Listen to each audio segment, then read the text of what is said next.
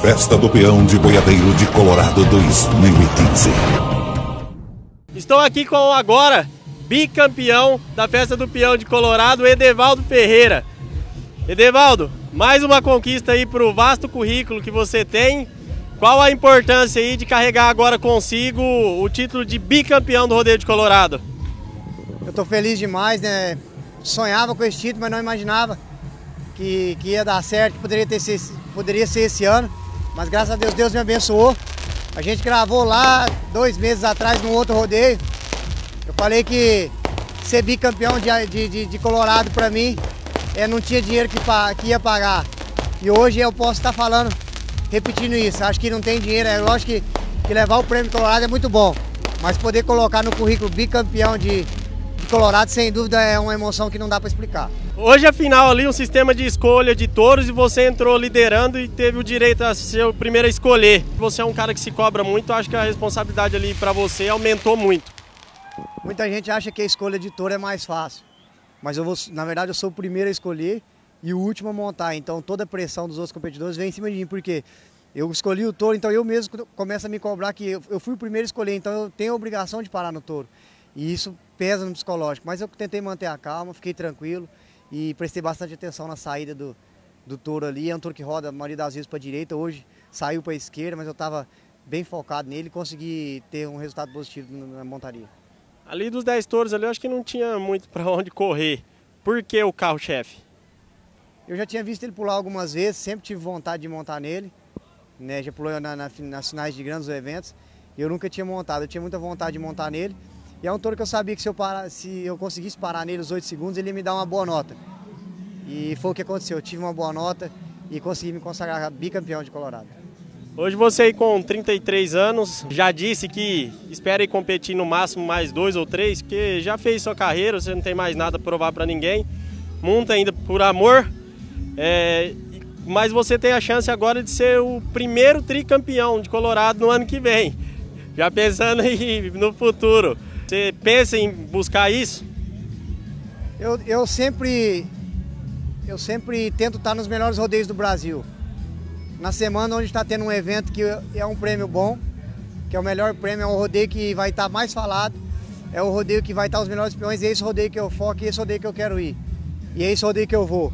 E sem dúvida Colorado, até eu, eu me aposentar, digamos assim, é, vai ser um dos melhores rodeios do, do, Brasil e vai ser o melhor rodeio da semana. Então, sem dúvida, quando que vem eu vou estar aqui em Colorado. E eu sempre falo, eu nunca vou num rodeio é, pensando em não montar bem. Vou focado no título, vou focado em montar bem. O ano que vem eu espero que Deus me abençoe para que eu esteja inteiro e volte a montar aqui. E quem sabe, né? Quem sabe, tricampeão. Você aí num período aí de 5, 6 anos aí, você figura entre os três principais competidores do Brasil. Qual é o segredo aí de manter essa boa forma aí durante tanto tempo?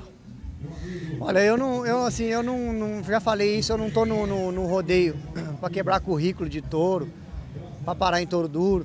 Eu estou no rodeio porque eu preciso ganhar o sustento da minha, minha família, eu quero montar bem. Enquanto eu estiver no rodeio, eu quero estar tá montando bem. Então eu me dedico ao máximo, isso é treino, isso é dedicação. Eu não sei, eu já falei, eu tô até, eu tô com meus 33 anos, eu não vou parar aos 35, aos 36 por falar assim, não, eu vou parar porque eu quero parar.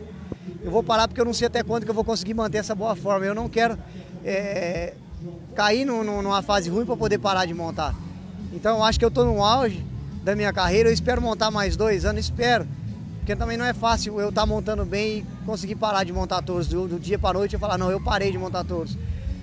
Mas eu espero que Deus coloque no meu coração, Deus é, é, vai fazer, vai fazer, como Ele faz as coisas certas na minha vida, Ele vai me mostrar a hora certa. E o resultado disso é muito treino, muita dedicação. Eu vou embora daqui hoje, eu fui campeão aqui, eu vou embora daqui hoje. É, é final de semana tem outro evento. Na terça-feira eu tenho todos lá no, no, na nossa propriedade, no nosso sítio, eu vou treinar, eu vou me dedicar. Então eu, o treinamento não para. Eu treino para estar tá sempre bem, para estar tá sempre bem. E eh, junto com a minha família, que é a minha base, eu estando bem com a minha família, eu acredito que eu vou estar bem no meu trabalho. Aí é que eu começo a treinar e treino, e treino, treino, me dedico e eu tenho, através disso eu tenho tido resultados positivos no meu trabalho. Eu acho que esse é o grande segredo. O treinamento é de dedicação. Parabéns aí, Edevaldo, mais uma vez e espero que aí ao longo do ano a gente se encontre mais vezes aí no circuitão de primavera, equipe Roseta aí. Falando como fã agora, que a gente espera que você monte ainda por muito, muito tempo. Obrigado, eu agradeço, fico feliz. Né? Mas vamos ver, é que Deus, Deus vai preparar a hora certa, Deus vai, vai me abençoar como vem abençoando. Estou muito feliz, eu espero que possa repetir muitas outras vezes né, durante o ano essa entrevista. Obrigado a todos. Errada a festa aí de Colorado, que já vai deixando saudade todo mundo louco pelo para a chegada do ano de 2016, para novamente estarmos aqui. E agora a gente se encontra em Planalto. Rodeio do nosso amigo Chuco, Ricardo Sabino. Até lá!